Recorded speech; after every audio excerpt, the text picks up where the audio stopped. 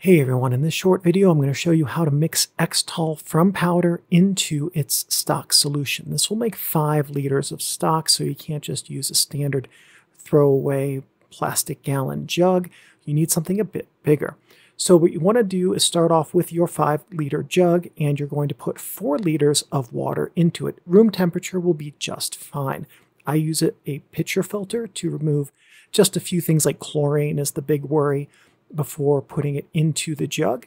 Once those four liters of water are in the jug, then we're going to mix the powders to get in, into it in a specific process.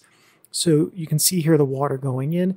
After the water goes in, the four liters of water goes in, we're going to add part A. So when you have your, your Xtol powder, it will come in two bags.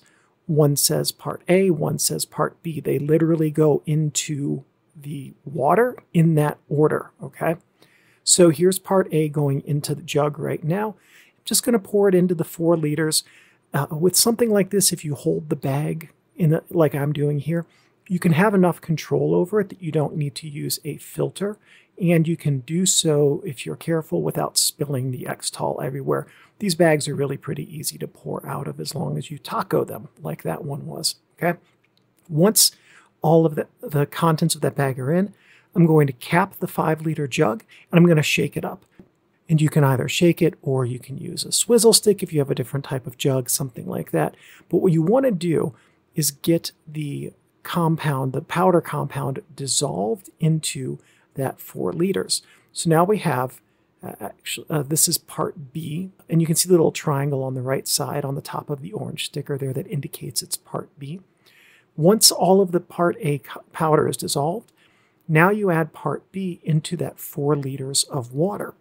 Exact same way, taco the bag, pour it in, and once it's all in, then you fill up the jug to reach five liters. So you want to have your four liters in, and then you have your, your water container with that extra thousand milliliters of water. Pour it into the jug after all the powder, cap the jug, shake it up again, and you're going to keep shaking it. I'll invert it. It's kind of hard to show you that in this camera angle, but I'll also invert it as well and do so until the sound, there's a, a sandy sound. And just keep doing that. Make sure you date the day you mix it. And then what you're going to do is do a clear test after all of the powder is dissolved. Take a piece of ruined film, drop the fixer on it, you know, nudge it a little bit if you want, just to see approximately how long it's going to take for that fixer to fully clear on the film. And in this one, it took two and a half minutes.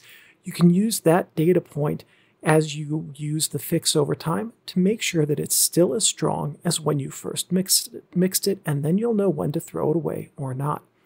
Thank you for watching. We'll see you in the next video.